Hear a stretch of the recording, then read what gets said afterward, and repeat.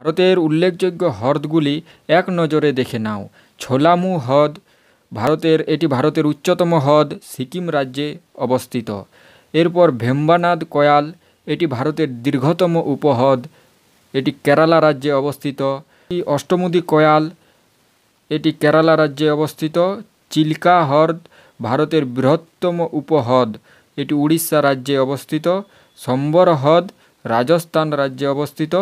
আর এই হ্রদটি ভারতের বৃহত্তম লবণাক্ত জলের হ্রদ। পেগং হ্রদ ভারতের উচ্চতম।